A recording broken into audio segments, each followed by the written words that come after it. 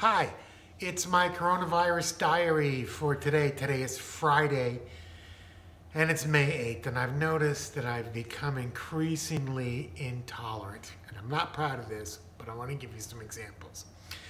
Uh, yesterday I was in the grocery store and I get incredibly intolerant at the grocery store. It's very, it's very nerve wracking because, you know, like, like suddenly, suddenly I'm the person, you know, I'm the kid behind, they used to sit behind me in, uh, in eighth grade that follows all the rules. You know, like people are not uh, following the rules of the one-way aisles, and uh, you know they're not really social distancing. Uh, and this is driving me crazy. Yesterday, a woman bumped into me, and I almost blew a gasket. Also, not just grocery stores.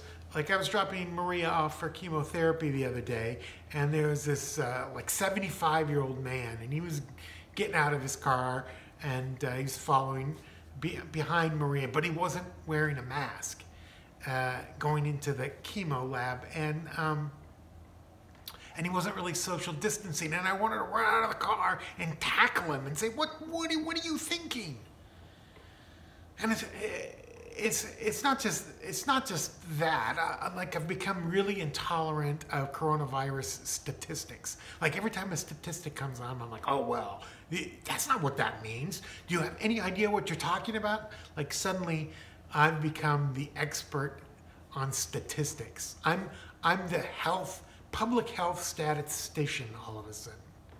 And this weather, I've become really intolerant of the weather. Like for Pete's sake, it's May. Can it be warm finally? And how about, how about, how about the host of Chopped, Ted Allen? What's with him anyway? Well, the best I can do, I guess, is try to be, I don't know, well, certainly more tolerant with other people, but maybe, maybe tolerant with my, uh, with my shortcomings, because, you know, it's coronavirus. So uh, that's my uh, that's my reason. Anyway, yeah, back to the uh, tolerance drawing board. Hope you're well.